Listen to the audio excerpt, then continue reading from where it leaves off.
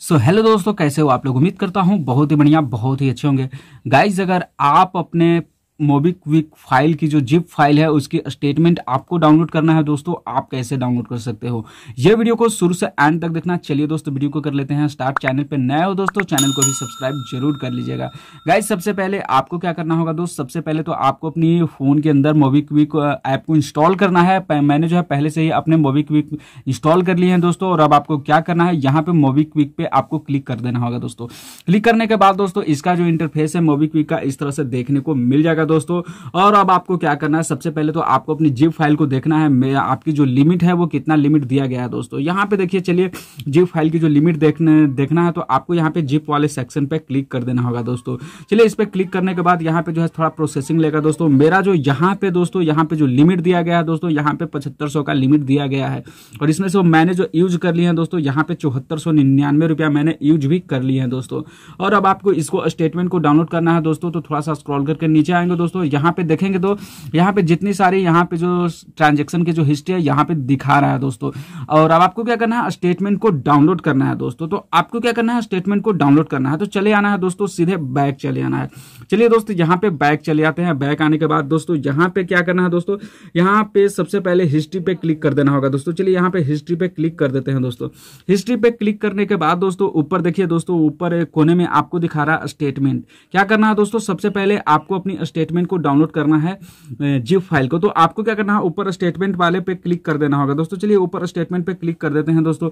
Click करने के बाद दोस्तों, यहाँ पे स्टेट टाइप जो है, यहाँ पे देखने को मिल जाएगा और यहाँ पे ऑल ऑल ट्रांजेक्शन को भी यहाँ पे सिलेक्ट कर लेना होगा दोस्तों। चलिए यहाँ पे सिलेक्ट कर लेते हैं दोस्तों। सिलेक्ट करने के बाद दोस्तों यहाँ पे आपको चार ऑप्शन पाँच ऑप्शन आपको देखने को मिल जाएगा दोस्तों। यहाँ पे last week last month last three month last six month यहाँ पे कस्टम देखने को मिल जाएगा।